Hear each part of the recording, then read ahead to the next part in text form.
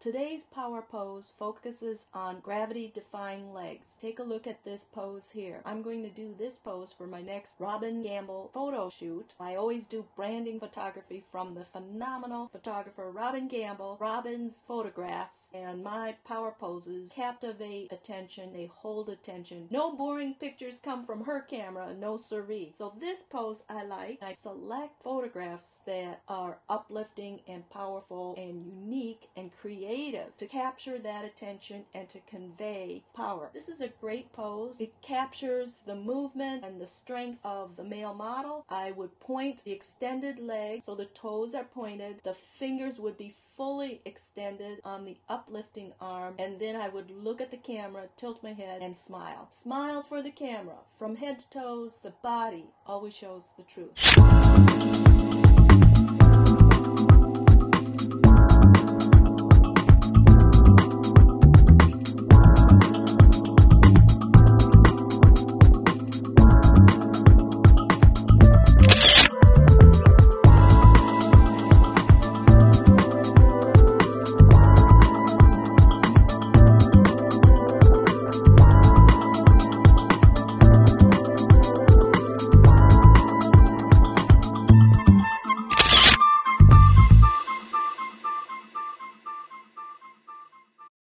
Thank you.